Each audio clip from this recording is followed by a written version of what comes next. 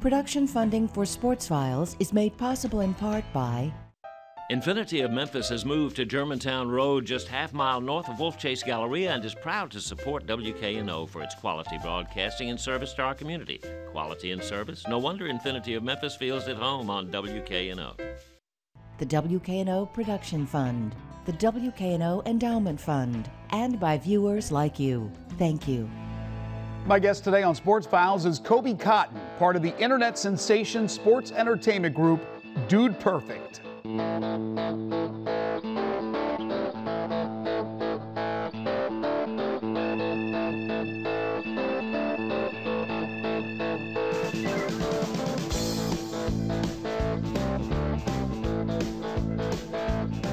Six years ago in College Station, Texas, attending Texas A&M, twin brothers Coby and Corey Cotton, Garrett Hilbert, Cody Jones, and Tyler Toney, all former high school basketball players, began filming trick shots and started posting them on YouTube. As Coby would tell me, they were just college roommates having a little fun. Well, that little fun has turned into a phenomenon. The group Dude Perfect is now a huge sports entertainment group. They have appeared on shows like Good Morning America. They have worked with stars from the sports world, such as Russell Wilson, and stage and screen. And they have been viewed over a billion times on YouTube. A billion times. Now the guys from Dude Perfect are about to embark on their own television show on CMT. 27 year old Coby Cotton, one of the twins, took some time out of a hectic schedule to chat with me at a recent appearance in Memphis at the Bass Pro Shop Pyramid. The crowds to see Dude Perfect were huge, with most of their fan base being children. Today, Coby Cotton joins me to talk about the rise of Dude Perfect, their allegiance of fans, and how they develop those jaw dropping trick shots. And it's next on Sports Files.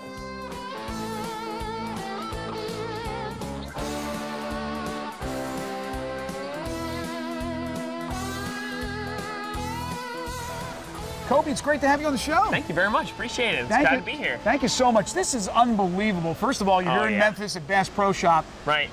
The kids and kids and kids and parents and parents that were waiting in line to get autographs and to get selfies and all that from you guys. It's, right. it's absolutely amazing. You have to pinch yourself sometimes. We're very honored. It's really cool to show up at this, and obviously uh, Dale Jr. was here, which is awesome. But I mean, we had so many kids and families and high school students and college students come out. I mean, truly, truly humbling. Really, really cool. It's a blast for us to meet them. Six years now, right? Right. Since you started. Six years. How many views We of your just videos? crossed a billion views. a billion views. Pretty insane. It- Yeah. It, really is. Did it start on a whim? Did it, st- you just wanted to, to have a little fun? How did Right. it all start at Texas right. A&M? So we were all roommates at Texas A&M. We all met through a Bible study there, and we had a grass backyard, you know, typical. And we had a basketball goal back there, so we would just play horse. And one of the guys, Tyler, told Garrett, "Hey man, I'll bet you uh, Jimmy John sandwich I can make a hook shot from behind the tree." And he nailed it. And all of a sudden, we're trying to top each other, and we're videoing each other. They put a little video together and launched it, and it took off. Yeah, the, the video end of it, because first of all, the trick shots are hard enough, but to make sure the video's right, that you get the shot, that you don't miss the shot. How tough was that? Yeah, it's an it's an important piece of it. Um, we tell people a lot of times, you know, we're we're videographers as much as we are entertainers or athletes. You know, it's definitely important to make sure to video it the right way, or else it's not that interesting for people. All right, so you, do the first one. Yep. You post it. Yep. Do you get immediate reaction? So we posted it and shared it on Facebook. Posted on YouTube and shared it on Facebook, and all of our friends seemed to really get a kick out of it. I don't know what it was, and it grew from there. And two mornings later, my brother woke up to a call at 6:30 in the morning from Good Morning America, and they wanted to show it that morning. And we, of course, were just running through the college house, freaking out, you know, thinking, "Oh, it'll never get better than this." And that video just kept growing, and so we made another one, and lo and behold, people continue to enjoy them. Did you think it was a real call from Good Morning America or Oh, a prankster? we definitely thought it was a prank call at first, for sure. That is amazing. And your brother, by the way, a twin, right? Twin brother Corey.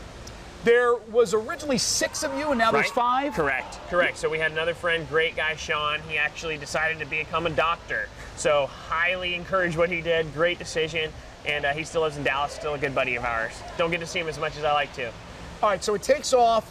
People are starting to view this thing. You go on Good Morning America. Right. Now what happens? So they aired it on Good Morning America. Um, then we made the ranch video. Was our next video. People really enjoyed that one.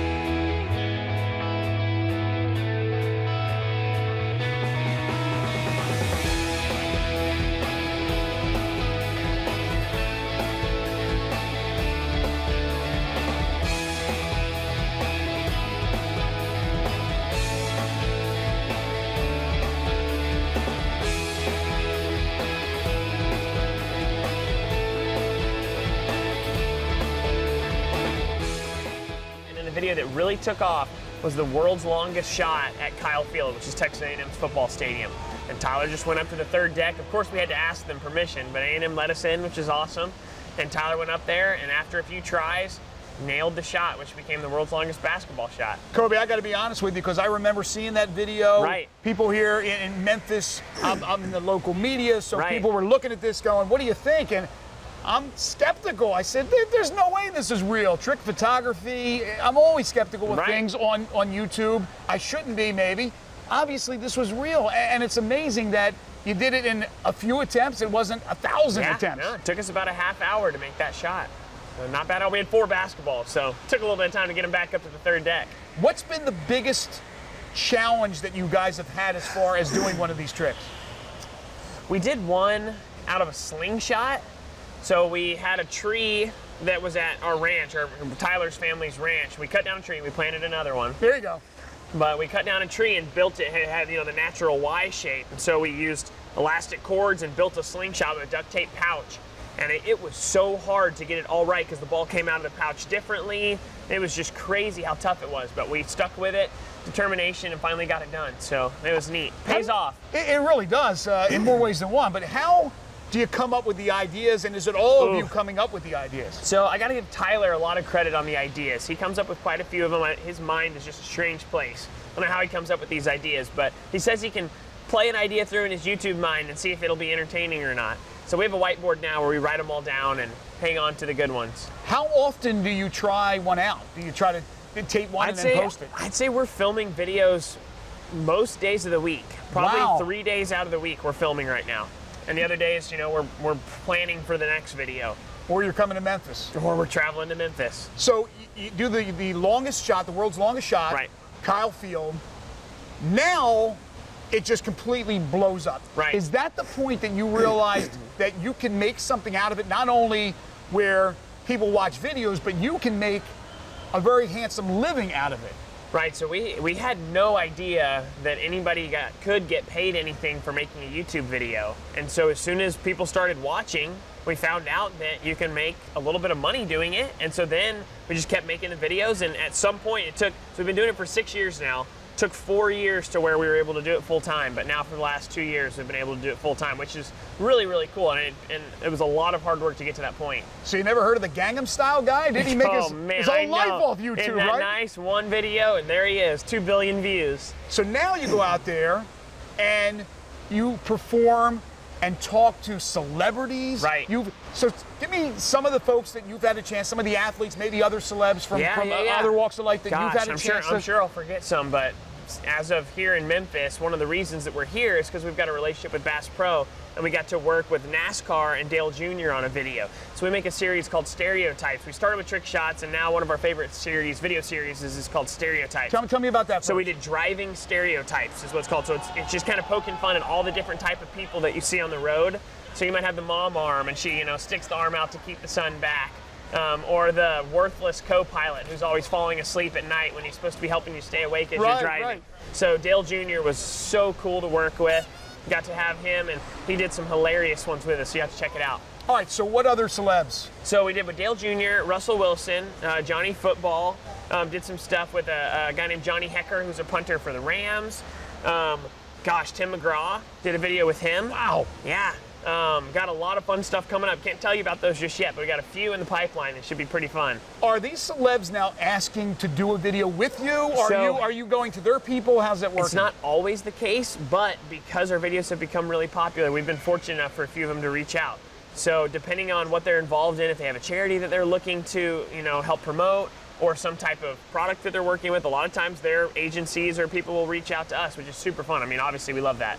Coby, we see a lot of dirt, unfortunately, on Right. YouTube, Right. on the internet, and the kids, Yep. you want them to stay away from them. The parents have to certainly watch over them.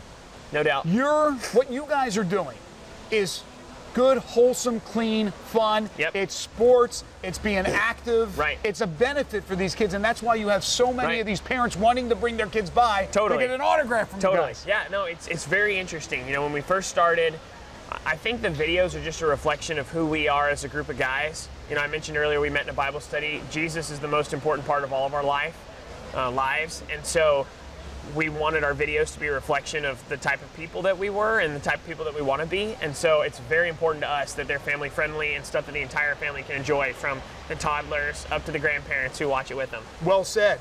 Um, craziest stunt that you guys have tried? Oh gosh. I mean, the slingshot one was nuts. There was one that Tyler ended up being successful at. It's called the boomstick. You can look that one up. It's a baseball shot. So he used a baseball bat with a basketball on a baseball tee and hit it off really far into a basketball goal. And that I- was I've seen that one, tough, but it was so cool. And Tyler's genuinely excited at the end of that shot. Anything that you've done that was deemed dangerous? We do some shots off the roof, um, some That's shots dangerous. out of moving vehicles. That's Um, dangerous. So definitely, we say our stuff is family friendly, but not everybody should try what we do. We have a lot of stunt people who are with us, and always under professional supervision when it's anything that's uh, that could be dangerous, Oh wow! So you you lean on people We do, that no know doubt. exactly what they're No doing to make sure the safety. for sure. What you just told me a few moments ago. There's things that you you can't really say that's coming Right, up. right. But what are some things maybe down the road that you would like to do? Yeah.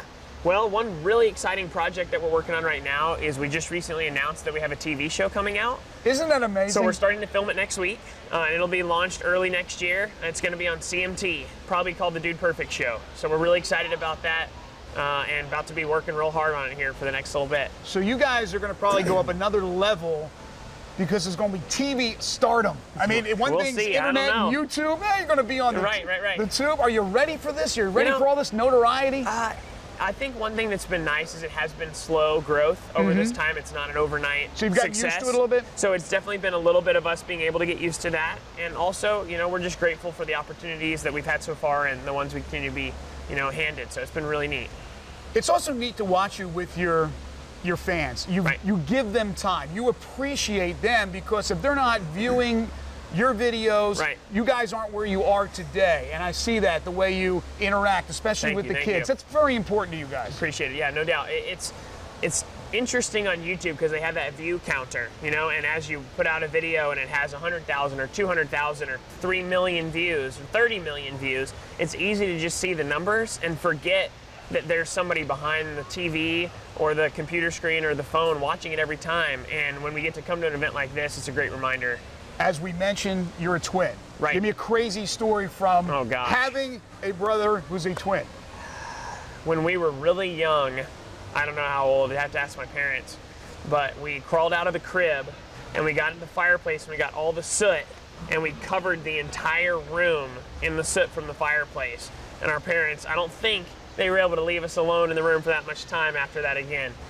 What's the um, what's the reaction you've gotten from students that you went to school with at Texas A&M Right. that knew you, they Right. went to class with you, Right. maybe in the same dorm, and all of a sudden they're like, "What's going on here?" And now you've ballooned. Well, I'm sure that the ones who were telling us we should have been studying more that week that we made the video have questioned that a little bit, but the truth is we could never have expected this. It was definitely a God thing. They're probably better off doing their solid career than we are. So What about family reaction and, and how supportive the families our are? families, we we've been very, very blessed, very grateful. We have incredible families across the board. The five of us, there's four families represented because of my brother. Right. But really awesome families, and they've been incredibly supportive throughout.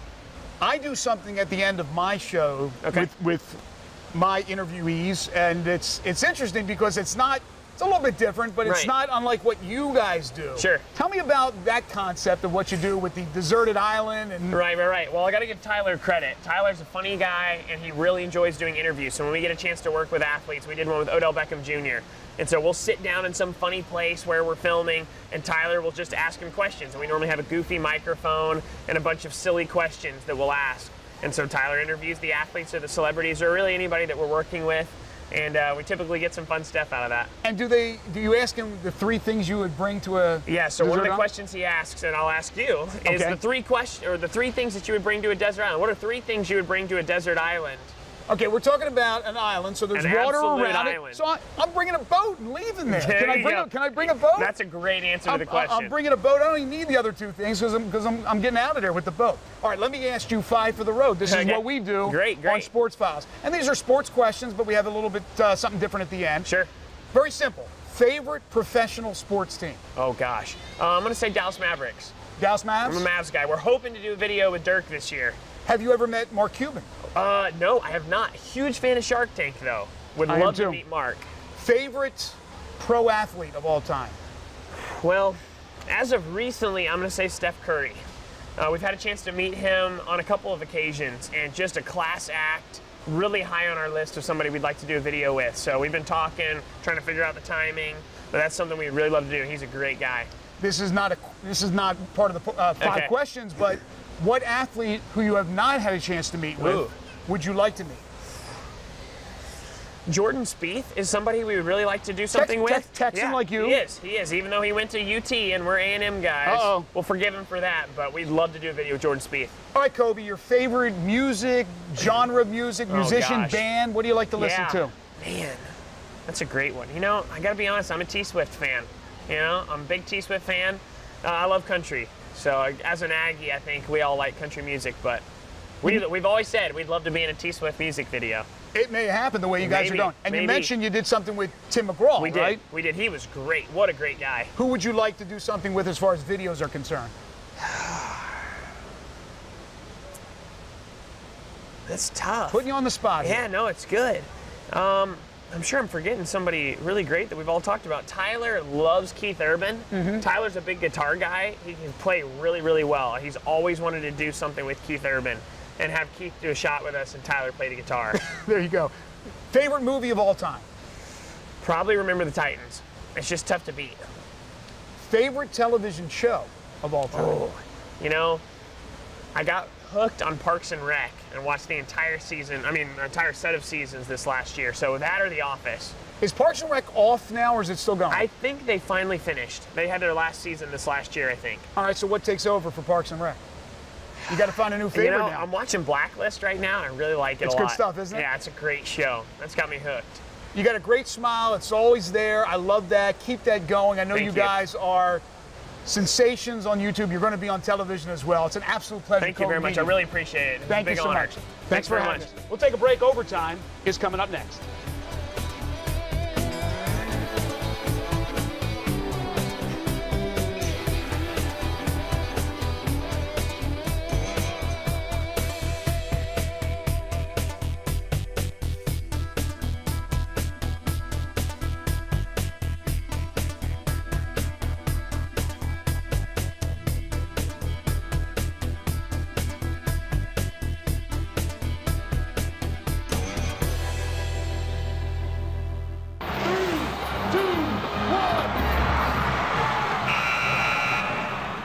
I have to admit, seeing Dude Perfect at the Bass Pro Shop Pyramid was a bit of a surprise to me, but watching the Big Cypress Open National Duck Calling Championships, well, not so much. That's right in their sweet spot. And so competitors from as far away as Colorado, Louisiana, and Minnesota converged on Memphis to show off their goods in an event open to everyone. And for all you duck hunters out there, this will be something up your alley. For the rest of you, this will be an educational experience. So hold on to your ducks. Some calling is about to go down.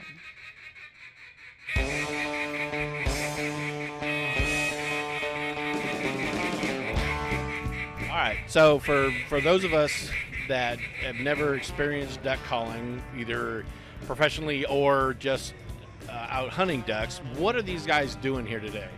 Well, this is a this is a duck call blowing contest, not so much a duck calling of wild ducks contest. This is about more playing the tune than it is actual calling the ducks. However, it's rooted in calling ducks. These guys are required to blow a um, hail call, feed call, comeback call, lonesome hen, and the fifth thing they're judged on is the overall routine. How well they paint the picture to the judge's eyes of calling a flock of ducks from way in the distance, call them to them, lose them, call them back, and land them. How does this compare? You know, you, you mentioned the five different types of calls they're going to do. For somebody that's actually out there, you know, with a gun in his hand trying to hunt ducks, how what's the Yeah, difference? that's a good question. Well, it's kind of that you kind of what we're doing is we're condensing calling a flock of ducks into a minute and 30 seconds. You've got a, a time limit of a minute and 30 seconds here. You'll notice as a red light comes on, that red light comes on at a minute and 20. It gives you 10 seconds to shut down. But to get back to your original question, the idea here is if you see a bunch of ducks on the distance, you're going to blow a hail or a long distance call to get their attention. It's like high ducks coming across the woods or ducks out over the river. You're, you're blowing loud and long trying to get their attention. So that's kind of that's the hail call part of it. Uh, now that takes sometimes longer than a minute and 30 seconds to get them started.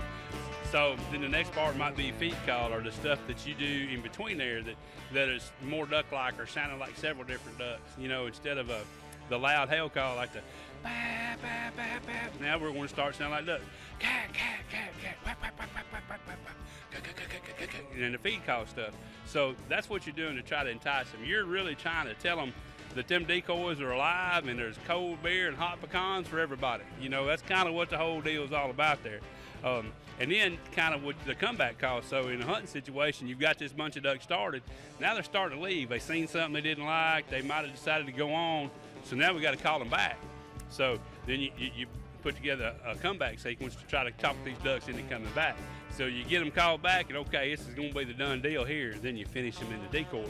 So that's kind of how it is. We're just shortening it into a minute and 30 second routine.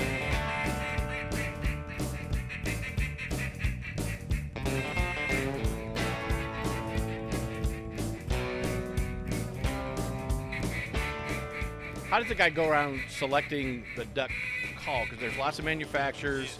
A, are they breed specific? To uh, some degree, to some degree, they're breed specific. You know, pretty much when you talk about a duck calling contest or duck hunters, um, you're talking about calling mallard ducks. They're the most vocal ducks. They're the most popular duck we hunt in North America, and that's what most people, as far as blowing duck calls, is all about. Is calling mallard ducks. However, there are calls made for wood ducks, for widgeons, for pintails, for all the different species of ducks. You know, the good Lord gave them a voice for a reason to communicate. So they make sounds and communicate back and forth. Fortunately, most of them will somewhat respond to mallard calling. Now, I looked at a map online here, and Memphis sits right in the middle of the migratory patterns. We're right dead center in the middle of the lower Mississippi Flyway. This is where everything comes together. If you look at a migration map and think of the Mississippi River as a main funnel, that's all coming right here. East Arkansas, West Tennessee. This is winters more mallard, more continental mallards in this part of the world than anywhere in North America. Good duck hunting area. Rather, most of the time. Now, this competition is it uh, is it a big deal? I thought it was just maybe like an exhibition. No, this is this is the real deal. Um, this is uh, although it's run cooperatively between Bass Pro Shops supporting it, uh, and it's being administered by the World's Championship Duck Calling Contest Committee. The World's Championship, you have to qualify to, to blow in the Worlds. However, this contest in some ways is going to be bigger and overshadow the World's Championship as the first place first place prize package is going to be $20,000. They're paying the top 10. I, I don't remember the exact prizes, but I think if you make 10th place, you get like a $500 gift card. So if you just blow pretty good and make the final round, it's been worth your time. The winner is going to walk away with a check for $10,000 and a new four-wheeler. So it is unprecedented in what Bass Pro Shop has done here in supporting the college sport. So can any of these guys sitting out here just jump up on stage and take this thing? That's the cool thing about it. Whereas the World's Championship, you have to qualify to blow in the World Championship. In this contest, anybody who wants to pay their entry fee and sign up can blow in it. How long does it take to get good at it? Some folks are lucky and get good at it in six months, but typically it takes about 10 or 12 years. At least that's what they told me, and they were right. So it, it's not like uh, you said you're from Arkansas. It's not uh, suey duck. No, that don't work. Suey duck don't get it done. But uh, sometimes if you rattle corn in a bucket, that'll help you out.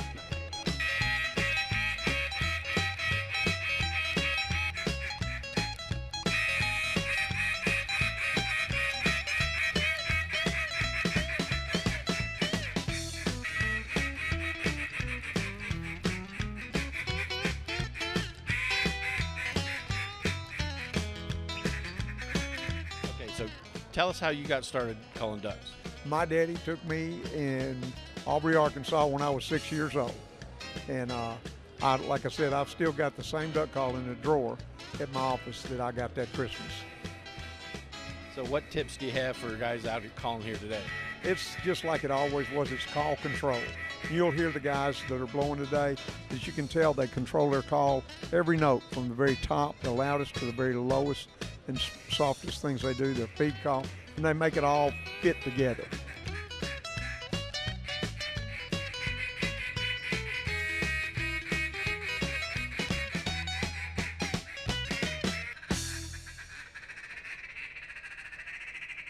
And the winner of this Open Championship was a guy named David St. John, who walked away with a cool $10,000. Yeah, it's hip to do some duck calls, isn't it? And that'll do it for now. We certainly hope you had a great Thanksgiving and will enjoy the rest of your Thanksgiving weekend. And remember, as we did this weekend, we will not air Sports Files next Saturday in its usual 4:30 time slot because of special programming in association with our pledge drive. The other scheduled airings will take place as usual. Have yourselves a great week, and we'll see you next time.